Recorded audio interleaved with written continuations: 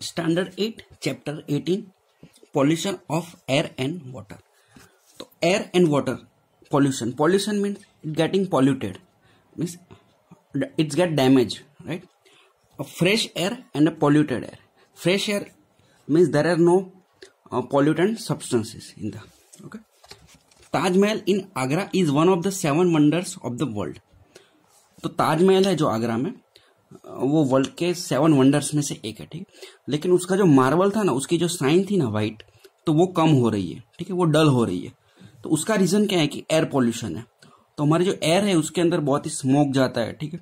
Dust ज़्यादा है तो इस वजह से वो पॉल्यूशन है। और वो एयर पॉल्यूशन है, वो उसको अफेक्ट कर रहा है।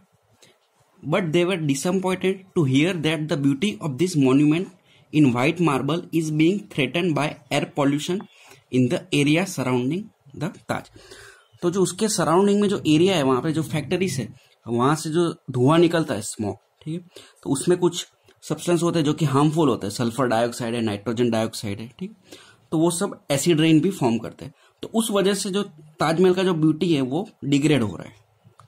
तो इसलिए हमें क्या करना चाहिए कि जो एयर है, उसको हमें क्लीन रखना चाहिए, ठीक है? जैसे कि पीयूसी करवाना चाहिए रेगुलरली टाइम टू टाइम ठीक है?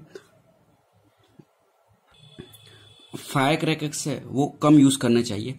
और जो केमिकल इंडस्ट्रीज़ है फैक्ट्रीज है, वहाँ से जो हार्मफुल गैस निकल रहा है, ठीक है, उसके ऊपर कंट्रोल होना चाहिए और वो होना ही नहीं चाहिए, ठीक। तो ये सब हम कर सकते हैं, एयर पॉल्यूशन कम करने के। They were eager to know if something can be done to control the air and water pollution तो हम एयर एंड वाटर पॉल्यूशन को कंट्रोल कर सकते हैं, ठीक। Now the media regularly reports on the following quality of the environment तो हमारा जो एनवायरमेंट था ना, उसके अंदर ग्लोबल वार्मिंग हो रहा है, ठीक है? अब जो सीज़न है, वो भी चेंज हो रही है। जैसे कि अगर कोई सीज़न नहीं है तो उसमें भी रेन आ जाता है, ठीक तो इस तरह से पूरा जो एनवायरमेंट है, वो भी डैमेज हो रहा है। We ourselves feel the impact of the following quality of air and water in our lives ठीक तो इसका इम्पैक्ट हमें भी आता है, ठीक हम जैसे देखते हैं कि हमारे आसपास एटमोसफियर में डस्ट है, वो बहुत ही उड़ रही है, ठीक तो वो हमारे ब्रेथ में जाती है, ठीक है? ब्रेथ इन, ब्रेथ आउट में। तो उससे क्या होता है कि जो रेस्पिरेटरी डिसीज है, वो सब इंक्रीज हो रहा है। उसके बाद वाटर पॉल्यूशन तो जो वाटर है अगर वो पॉल्यूट हो रहा है तो वो जो ड्रिंक कर रहा है, उसको वो हार्मफुल हो सकता है। उसकी वजह से भी डिसीज फैल सकते हैं। The number of people suffering from diseases of the respiratory system for example is steadily rising जैसे कि हम देखते हैं कैंसर है तो वो बढ़ रहा है। ठीक? जो लंग्स कैंसर है, वो इंक्रीज हो रहा है। तो उसका एक रीजन मेन ये भी है कि एयर पॉल्यूशन है, उसकी वजह से भी हो रहा है तो एयर पॉल्यूशन मीन्स क्या है? तो एयर पॉल्यूशन में एयर एयर के अंदर हार्मफुल सब्सटेंसेज हो, वो सब ऐड हो जाना। हार्मफुल गैसेज हो, या फिर डस्ट हो तो उस सबको एयर पॉल्यूशन कहते हैं। जैसे कि एक, सब कार्स है तो उसका जो स्मोक निकल रहा है, धुआँ तो पूरा एयर में जाएगा तो उस वजह से एयर पॉल्यूट हो जाएगी। Air pollution we can survive for some time without food अगर हम फ़ूड नहीं लेते तो दो तीन दिन, चार दिन तक हम सर्वाइव कर सकते हैं। But we can not survive even for a few minutes without air तो हमारा जो ब्रीथिंग और ब्रीथिंग आउट है, वो प्रोसेस कंटिन्यूसली चलता रहता है। ट्वेंटी फोर आवर्स वो चल रहा है। तो हम ना कुछ मिनट्स के ज़्यादा विदाउट एयर हम सर्वाइव नहीं कर सकते। This simple fact tells us how important clean air is to us तो क्लीन एयर है, वो हमारे लिए बहुत इंपॉर्टेंट है। उस वजह से क्या होता है कि अब जब हम देखते हैं कोई कोई जगह पे हमें एकदम स्मेल आती है जी केमिकल की स्मेल तो हम वहाँ पे नहीं जाते। उसका रीजन क्या है कि केमिकल है, वो हमारे लंग्स में जाएगा तो वो हमें हार्म कर सकता है। You already know that air consist of a mixer of gases तो हमारी एयर है हमारे आसपास में, ठीक है एटमोस्फियर में तो वो हंड्रेड परसेंट एयर है तो उसमें से seventy eight percent of this mixer is nitrogen तो nitrogen gas seventy eight percent है and about twenty one percent is oxygen oxygen O two twenty one percent है. सेवेंटी एट ट्वेंटी वन तो हो जाएगा नाइन्टी नाइन ठीक? तो बाकी जो एक परसेंट रहता है ना, उन सब में ये सब गैस है. Carbon dioxide argon methane ozone and water vapour अब वाटर वेपर क्या है कि अगर वाटर को हम बॉईल करते हैं तो वो वेपर में कन्वर्ट हो जाता है, ठीक तो वही है। Are also present in very small quantity तो ये वन परसेंट के अंदर ये सब आ जाता है नेक्स्ट है? एयर पॉल्यूशन की definition when air is contaminated by unwanted substances which have a harmful effect on both the living and the non living it is referred to as air pollution तो living में क्या आएगा? Animals humans और हर एक living thing आएगा। और non living में, जैसे कि ये ताजमहल के मार्बल्स है मॉन्यूमेंट्स है बिल्डिंग्स है, वो सब नॉन लिविंग में आएगा। तो इन जो एयर का पॉल्यूट होना तो उसको कहते हैं air pollution 18.2 how does air get polluted तो उसके मेन मेन रीजंस कौन से है? तो गैसेस है, ठीक है? जैसे कि कार्बन डाइऑक्साइड गैस उसके अलावा सल्फ़र डाइऑक्साइड गैस ठीक है इन सब वजह से। उसके बाद है डस्ट जो डस्ट उड़ती है हवा में तो वो भी हार्मफुल हो सकती है, ठीक है? क्योंकि हम जब ब्रेथ लेते हैं, ठीक तो वो डस्ट हमारे लंग्स में जाएगी। तो वो वो भी एयर पॉल्यूशन तो इन सब के सोर्सेज कौन से होते हैं? फैक्ट्रीज होती है। उसके बाद है व्हीकल्स है, ठीक है? The substances which contaminate the air are called air pollutants तो जो सब्सटेंसेज है वो उन सबको एयर पॉल्यूटेंट कहते हैं। तो ये टू गैस है एसओ गैस है डस्ट है। उसके बाद एक और है क्लोरोफ्लोरोकार्बन जो कि इसी टॉपिक में आएगा। जो रेफ्रिजरेटर है, उसमें कूलिंग के लिए यूज़ होता है। अगर वो एयर में जाता है तो वो क्या करता है, जो ओजोन लेयर है, उसको डैमेज करता है। तो ये ये भी एक air pollutant sometimes such substances may come from natural sources like smoke and dust arising from forest fires और वॉल्केनिक इरप्शन अब फॉरेस्ट फायर क्या है? कि जैसे कि अगर समर होता है तो तो उसमें क्या होता है कि जो फॉरेस्ट है, उसमें फ्रिक्शन की वजह से जैसे कि ट्रीज के बीच में फ्रिक्शन होता है तो उस वजह से भी फायर हो जाती है और वो पूरे फॉरेस्ट में फैल जाती है। तो उससे क्या होता है, उसमें भी जो धुआँ होगा, ठीक है तो वो स्मोक होगा एंड डस्ट तो वो डस्ट का रीजन विंड भी हो सकता है लेकिन फिर भी डस्ट एयर पोल्यूशन में ही आता है। वॉल्केनिक इरप्शन तो वो नेचुरल है वॉल्केनिक इरप्शन तो ये दोनों है, वो नेचुरल इंसिडेंट है। अगर वो होता है तो एयर पॉल्यूट हो जाती है। Pollutants are also added to the atmosphere by certain human activities अगर हमारी डेली एक्टिविटी देखें तो हम जो व्हीकल यूज़ करते हैं, उससे जो स्मोक जाता है तो उससे भी एयर पॉल्यूट होती है। उसके अलावा हम जो भी बर्न बर्न करते हैं तो उससे भी एयर पॉल्यूट होती है। The sources of air pollutants are factories power plants automobile exhaust तो ऑटोमोबाइल में कार बाइक और सब आ गए। And burning of firewood and dung cakes अब फायरवुड को अगर हम बर्न करते हैं तो अगर उसका इनकम्प्लीट बर्न होगा तो तो वो पॉल्यूशन ज़्यादा होगा। ठीक और कंप्लीट बर्निंग होगा प्रॉपरली तो वो कम हो तो ये स्मोक फ्रॉम अ फैक्ट्री है। तो फैक्ट्री के अंदर कोई प्रोसेस के लिए अगर बर्निंग हो रहा है, ठीक है तो इस तरह से स्मोक जाता है एयर में जाता है। Vehicles produce high levels of pollutants like carbon monoxide carbon monoxide CO carbon dioxide CO two and nitrogen dioxide and smoke nitrogen dioxide NO two Carbon monoxide is produced from incomplete burning of fuels such as petrol and diesel तो petrol and diesel fuel है, ठीक है, अगर हमारी vehicle में। तो उसमें क्या होता है कि पूरा ऑक्सीजन कंप्लीट नहीं मिलता, ठीक अगर जो O2 उसको मिलना चाहिए, वो कम है, ठीक है। तो उस वजह से क्या होगा, कम बर्निंग होगा, वो इनकम्प्लीट होगा। एंड कार्बन मोनोक्साइड फॉर्म होगा, ठीक जैसे कि कॉल है, ठीक है सी अगर उसका बर्निंग होता है O2 के साथ। लेकिन O2 का जो है, वो बहुत कम आ रहा है। सप्लाई बहुत कम है ऑक्सीजन का। तो कम बर्निंग है ना इनकम्प्लीट एक्चुअली में कैसा होना चाहिए? C plus O two C O two होना चाहिए। लेकिन अगर ऑक्सीजन कम मिलता है ना तो कैसा होगा? सीओ हो जाएगा इस तरह से। Two C plus O two two CO carbon monoxide form होता है। इट इज़ पॉइजनस गैस तो carbon monoxide CO poisonous gas है। It reduce the oxygen carrying capacity of the blood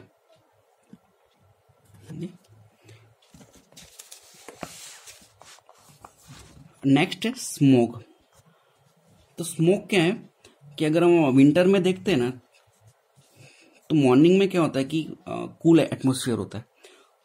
तो वो जो वाटर वेपर होता है ना तो वो वाटर में कन्वर्ट हो जाता है, ठीक अपने जिसको हम फॉग कहते हैं। अगर फॉग और स्मॉक मिल जाए तो उसको कहते हैं smog this is smog which is made up of smoke and fog तो इसमें क्या होता है कि विजिबिलिटी होती है ना, वो बहुत डाउन हो जाती है। क्लियरली विजिबल नहीं रहता। सामने का जो क्या भी है, वो दिखाई नहीं देता ठीक से क्लियर तो ये जो स्मोक है, उसका रीजन भी है। एयर पॉल्यूशन है। नेक्स्ट है petroleum refineries are a major source of gaseous pollutants like sulphur dioxide and nitrogen dioxide तो जो पेट्रोलियम रिफाइनरी होती है, ठीक उसके अंदर सपोज़ कोई फ्यूल है। अब फ्यूल इतना प्योर नहीं होता। कोई कोई बार उसके अंदर सल्फ़र सब्सटेंस भी होते हैं, नाइट्रोजन भी होते हैं। अगर वो बर्न होते हैं ना तो क्या होता है, सल्फ़र डाइऑक्साइड, नाइट्रोजन डाइऑक्साइड, ये सब फॉर्म होता है। और ये सब एसिडिक गैसेस है, ठीक है? अगर वो एटमोसफियर में वाटर के साथ मिल जाए तो वो एसिड बन जाते हैं। सल्फ्यूरिक एसिड नाइट्रिक एसिड वो एसिड रेन भी होता है। Sulphur dioxide is produce by combustion of fuels like coal in power plant तो कोल यानी कि क्या होता है? वो कार्बन होता है लेकिन उस, वो एकदम प्योर नहीं होता उसके अंदर बहुत कम लेस अमाउंट में सल्फ़र होता है। तो अगर वो बर्न होता है तो वो सल्फ़र डाइऑक्साइड फॉर्म होता है। It can cause respiratory problems including permanent lung damage next है CFC chlorofluorocarbon which are use in refrigerators तो ये गैस है सीएफसी तो रेफ्रिजरेटर में यूज़ होता है। Air conditioners AC and aerosol sprays जो स्प्रेस आते हैं ना, उसमें। CFCs damage the ozone layer of the atmosphere तो वो किस तरह से होता है? तो ये हमारा जो रेफ्रिजरेटर है, या एसी है, ठीक? अगर वो क्या करेगा, उसमें से जो लीक होगा सीएफसी तो वो एटमोस्फियर में जाएगा। तो वो ऊपर जाएगा।